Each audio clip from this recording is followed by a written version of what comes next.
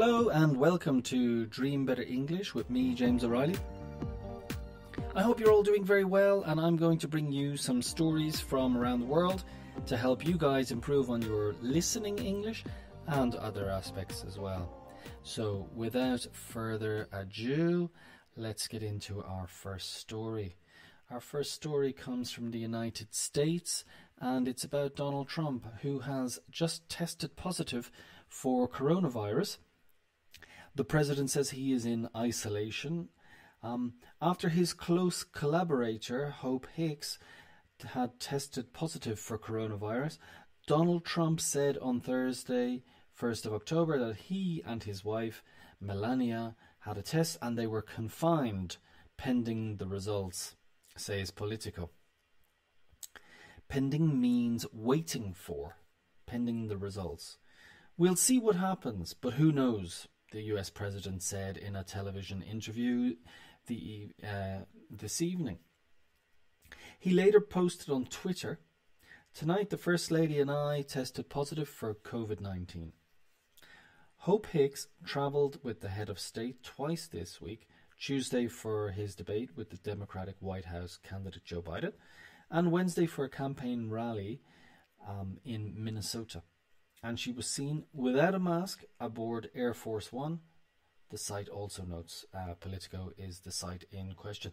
Um, uh, she was aboard Air Force One. Air Force One is uh, the president of the United States. It's the uh, airplane that they fly in.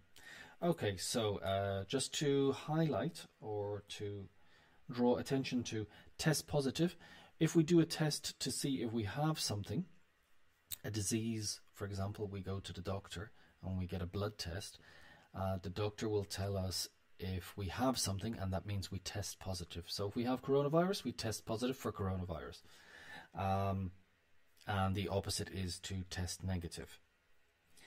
Head of state is uh, Donald Trump.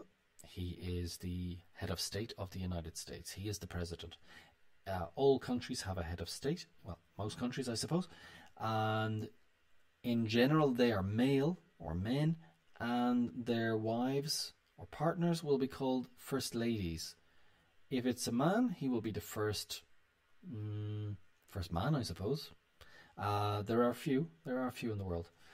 Okay, so um, we also mentioned Hope Hicks, who is a collabor- a close collaborator.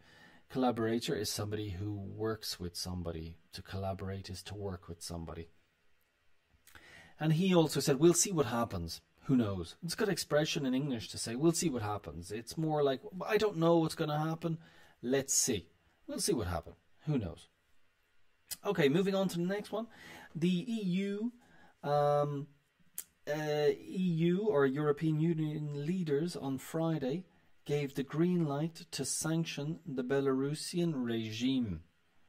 Okay, so to give the green light means to approve or to say yes, and sanctions are uh, generally economic. They're about money. So it means we will not buy something from your country or we will uh, do things to your country that will have an effect on your economic, uh, on your economy. Um, if your country is called a regime, or the leadership of your country is called a regime, it's it's not a good sign. It generally means that the rest of the world sees you as authoritarian, or they are against you. They see you it's uh, illegitimate. So this is about the recent elections in Belarus where um, the uh, president for so many years, his name is Alexander Lukashenko. He was voted in with 80% of the um, uh, votes in the elections, and a lot of countries see this as uh, that there was electoral fraud, fraud being cheating. So we'll see what happens there. Well, it's interesting that these sanctions are against 40 people allegedly responsible for the repression or um, putting down the demonstrations and electoral fraud.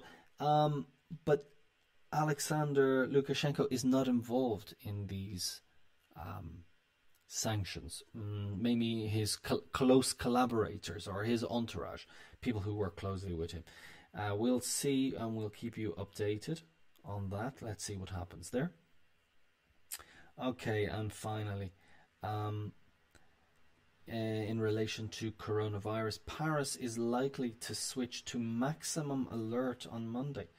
The French authorities could place Paris on maximum COVID 19 alert as of Monday.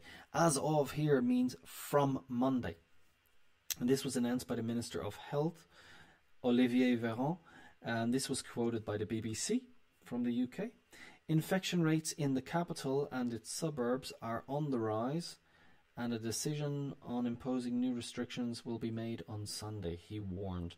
So, the capital being Paris and the suburbs are the neighbourhoods around the capital or around the urban area of the centre of the city.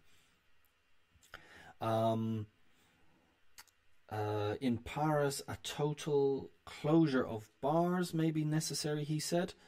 Uh, France, one of the many European countries which is experiencing an increase in cases, noted the BBC, has recorded more than 13,000 cases on Thursday. So there you are.